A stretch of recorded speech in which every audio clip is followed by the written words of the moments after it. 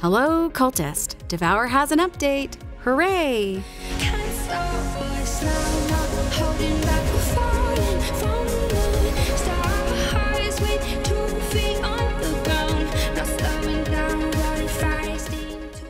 As I mentioned in my last update video for Devour, some of the core development team for Devour recently took a step back while dealing with health issues.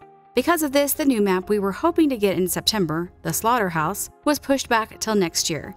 But as the spooky season starts to settle in and haunted houses, corn mazes, and pumpkins start popping up everywhere, Devour has plans for a small content patch to celebrate. I'm not sure exactly when this patch will drop, but it will certainly be soon, and as early as September 28th. It will include limited time achievements and items for players. But before we get into that, let's talk about pets.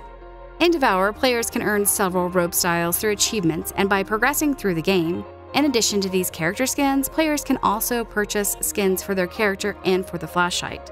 If you're a fan of Nathan or April, both of these characters will be receiving new skins available for purchase. But in addition to this, all characters can now have pets. Obviously, these pets are tied to the maps the farmhouse, the asylum, the inn, and the new map, yet to be released, the slaughterhouse. The town doesn't appear to have its own pet style. I think an opportunity for a pet snake may have been missed here. Maybe we'll see something for it in a future update. In addition to these visual changes, there are some other minor quality of life changes made.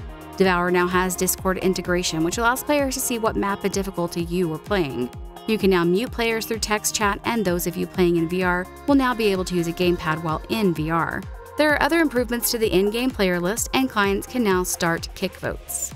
Also, the pumpkins will be returning for the Halloween season. Interestingly, it appears that if you earned the pumpkin robe last year, that it has been removed from your inventory, and upon collecting the 10 pumpkins on the town map, you'll receive the achievement Jacked, and once again, have the robe. If you've not collected pumpkins in Devour before, then you'll have 40 pumpkins to gather, 10 in each map, and can follow my guide linked in the video description. In addition to the pumpkins, there will be a new free outfit for the cultist during Halloween if you win a game playing as the cultist. There is currently no available image for the skin, so you'll have to earn it when the update comes out to see what it looks like. This may be a small update for Devour, but it's nice to see that some new stuff will come to the game as we wait for the release of the Slaughterhouse. Did you gather all the pumpkins last Halloween? Will you be attempting to earn the new cultist skin? Do you like the pets coming with this release? Let me know your thoughts in the comments below. Thanks for watching. Please like and subscribe, and remember, gaming should be fun.